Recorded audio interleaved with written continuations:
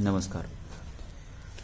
Quadratic equation chapter number four tenth class का chapter number four है quadratic equation ये quadratic equation क्या होता है? आप लोग क्वाड्रेटिक पोलिनोमियल पढ़े हैं?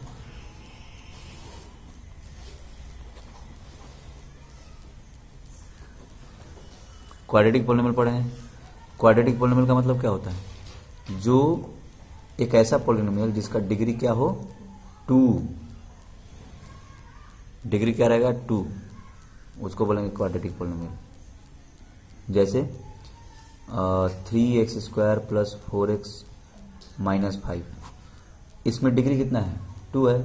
डिग्री मतलब highest power of the polynomial है ना? पोलिनोमियल में वेरिएबल का हाईएस्ट पावर क्या है? यहाँ पे वेरिएबल है एक्स एक्स का हाईएस्ट पावर क्या है? टू है. तो ये क्या हो गया? इसका डिग्री, इस पोलिनोमियल का डिग्री हो गया टू तो इसको हम लोग बोलेंगे, जब डिग्री टू रहेगा तो उसको क्या बोलेंगे? क्वाड्रेटिक पोलिनोमियल बात समझे? तो ये तो अब क्वाड्रेटिक इक्वेशन भी वैसे ही एक क्वाड्रेटिक इक्वेशन क्या है? क्वाड्रेटिक पोलिनोमियल है, जिसमें कि हम लोग इक्वेशन टाइप में लिखते हैं। अगर इज़ इक्वल टू इधर हम लोग अगर ज़ीरो लिख देते या फिर इज़ इक्वल टू कुछ लिख देते तो ये क्या हो जाता है? क्वाड्रेटिक इक्वेशन इक्वेशन मतलब होता है कि इक्वेट करना। इक्वेशन मतलब क्या होगा? इक्वेट करना। तो अगर three x square plus four x minus five is equal to zero अगर हम लोग लिख दिए, इसका मतलब ये क्या बन गया? इक्वेशन बन गया। है ना? अब क्वाड्रेटिक इक्वेशन का जो जनरल फॉर्म है वो क्या है? उसका जनरल फॉर्म है A x square plus B x plus C is equal to zero ठीक है? ये क्वाड्रेटिक इक्वेशन का जनरल फॉर्म है। A x square plus B x plus C is equal to zero समझे? तो ये क्वाड्रेटिक इक्वेशन का जनरल फॉर्म होता है। और फिर हम लोग इसी तरीके से हम लोग किसी चीज़ को रिप्रेजेंट कर सकते हैं। इसको इसको हम लोग स्टैंडर्ड फॉर्म भी बोलते हैं स्टैंडर्ड फॉर्म स्टैंडर्ड फॉर्म है ना? ठीक है? अब जैसे आपके पास एग्ज़ाम्पल दिया हुआ है represent the following situation mathematically John and Jivanti together have 45 marbles John के पास और जीवंती जॉन और जीवंती का दोनों का मिला करके कितने मार्बल्स हैं? 45 बात समझे? Both of them lost five marbles each मान लीजिए कि इसके पास अगर एक्स है तो इसके पास कितना होगा? जीवंती के पास कितना होगा? नहीं। फोर्टी फाइव वाई वाई होगा। अभी हम लोग लीनियर इक्वेशन नहीं पढ़ रहे हैं। हम लोग वाई भी ले सकते हैं। वाई लेंगे तो फिर वो लीनियर इक्वेशन इनटू वेरिएबल हो जाएगा। है ना? यहाँ पर वेरिएबल एक ही है। इसको हम लोग जैसे अभी अभी जो क्वेश्चन आएँगे, वो सारे के सारे वर्ड प्रॉब्लम्स को हम लोग लिनियर इक्वेशन इनटू वेरिएबल से भी सॉल्व कर सकते हैं। लेकिन अब हमको क्या करना है? क्वाड्रेटिक इक्वेशन से सॉल्व करना है। है ना? लीनियर इक्वेशन से नहीं सॉल्व करना है। है ना? पिछले चैप्टर में हम लोग linear linear equation in two variable पढ़े थे। यहाँ पर दो वेरिएबल लेने का ज़रूरत नहीं है, बस एक ही वेरिएबल लेंगे और एक ही वेरिएबल में काम हो जाएगा। है ना? ठीक? तो हम लोग एक वेरिएबल लिए एक्स तो दूसरा वेरिएबल मतलब कि दूसरा ये जीवंती के पास कितने मार्बल्स होंगे? भाई, दोनों को मिलाकर के फोर्टी फाइव है। ठीक है? तो इसके पास अगर एक्स है तो इसके पास क्या होगा? फोर्टी फाइव माइनस एक्स नहीं होगा। अरे, दो लोग को मिलाकर के दस है। एक के पास चार है तो एक के पास कितना होगा? दस माइनस चार यानी कि छह। है ना? छह होंगे ना? कितने होंगे? पाँच होंगे। छह होंगे। तो छह क्यों है? क्योंकि दस में से चार को माइनस कर दिया। तो वैसे ही यहाँ पर एक्स है तो इसके पास कितना होगा फिर? फोर्टी फाइव माइनस एक्स हो जाएगा? तो पहले इसके पास एक्स है तो दूसरा के पास फोर्टी फाइव माइनस एक्स है। अब कहता है कि अगर दोनों both of them lost five marbles each and the product of the number of marbles they now have is one twenty four मतलब अगर दोनों के दोनों पाँच पाँच मार्बल लॉस कर देते हैं तो कह रहा है कि अगर ये पाँच मार्बल लॉस करता है तो पाँच मार्बल लॉस करेगा तो एक्स माइनस फाइव, और ये पाँच मार्बल लॉस करता है, यानी कि forty five minus x minus five, होगा? है ना? यहाँ लिख देना है कि ऑन लूजिंग फाइव मार्बल्स तो एक्स इसका हो जाएगा जॉन के पास फोर्टी फाइव, अरे एक्स माइनस फाइव हो जाएगा। भाई पाँच माइनस करना पड़ेगा ना? पहले एक्स था तो आप पाँच माइनस कर दिए। अब इसके पास 45 फाइव माइनस एक्स था तो उसमें से पाँच माइनस कर दिए। अब कह रहा है कि दोनों का जो प्रोडक्ट है वो है 120 दोनों का प्रोडक्ट कितना है? 120 है ना? क्वेश्चन में दिया है कि दोनों सॉरी 124 दोनों का प्रोडक्ट कितना है? 124 फोर अब हम लोग क्या करेंगे? ये हो गया x minus five forty five minus x minus five forty five minus five क्या हो गया? Forty forty minus x equal to हो गया वन ट्वेंटी फोर अब कुछ करना नहीं है, बस दोनों को इंटू करना है। इंटू करके हमको क्वालिटी क्वाड्रेटिक इक्वेशन मिल जाएगा। एक्स से फोर्टी में इंटू करेंगे तो क्या हो जाएगा? फोर्टी एक्स एक्स से अगर एक्स स्क्वायर एक्स में इंटू करेंगे तो क्या हो जाएगा?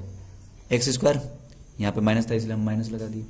फिर अब फाइव से इसमें इंटू करेंगे तो माइनस फाइव इंटू फोर्टी पाँच हो गए बीस, यानी कि two hundred minus two hundred minus five into minus x यानी कि plus five x is equal to one twenty four है ना? ठीक।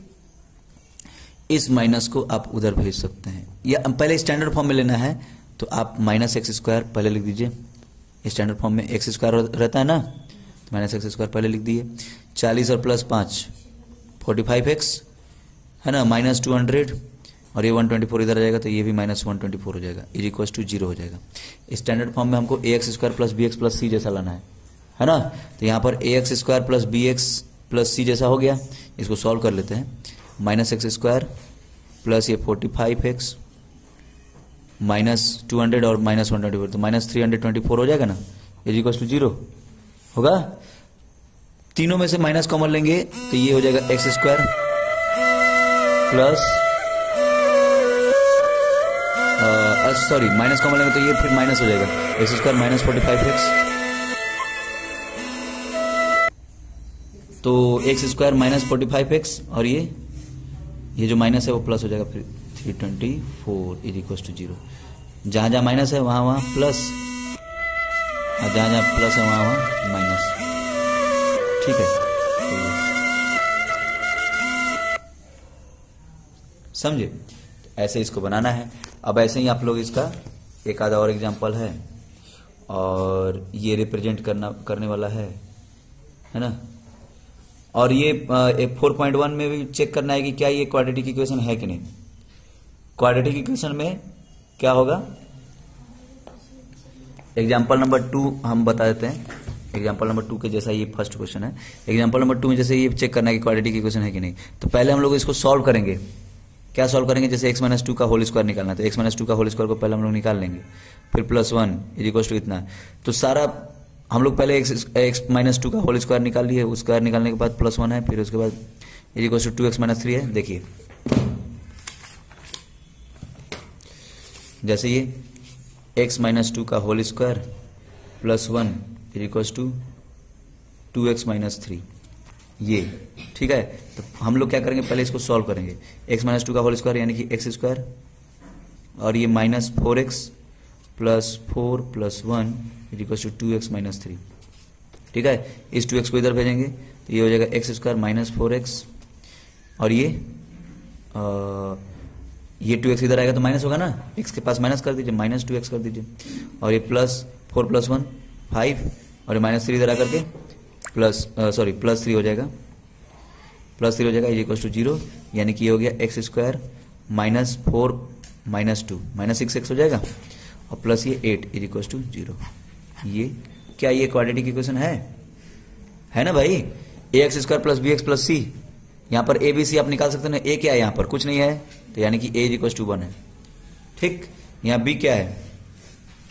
माइनस सिक्स सिक्स सिक्स नहीं, बी क्या है? Minus six. और सी क्या है? एट है ना? ठीक। तो ये हो गया हमारा a x square plus b x plus c के टर्म में। तो इसका मतलब ये क्वाड्रेटिक इक्वेशन है। अगर ये एक्स रहता या एक्स क्यूब होता या कुछ पावर फोर होता तो भी ये क्वाड्रेटिक इक्वेशन नहीं होता। पावर हमारा क्या है? A x square plus b x plus c जैसा है। तो ये क्वाड्रेटिक इक्वेशन है। मान लीजिए x square plus c direct रहे तो भी चलेगा। X square plus b x रहे तो भी चलेगा। क्योंकि वहाँ पर सी ज़ीरो है है ना? और जहाँ पे बी नहीं है, इसका मतलब बी ज़ीरो है है ना? जहाँ पे बी एक्स टाइप का नहीं है तो वहाँ पे वहाँ पे बी ज़ीरो है। लेकिन वह क्वाड्रेटिक इक्वेशन है। और जहाँ पे मतलब कि एक्स का पावर अगर थ्री हो गया, या फिर फोर हो गया, या फिर वन रह गया, है ना? तो वो क्वाड्रेटिक इक्वेशन नहीं कहलाएगा। बात समझे? एक्स का पावर टू लाना ज़रूरी है है ना? तो फ़र्स्ट क्वेश्चन में आ, आपको 4.1 के फ़र्स्ट क्वेश्चन में वही काम करना है चेक करना है और सेकंड क्वेश्चन में रिप्रेजेंट करना है ठीक है? इसको आप लोग बनाइए। ओके नमस्कार।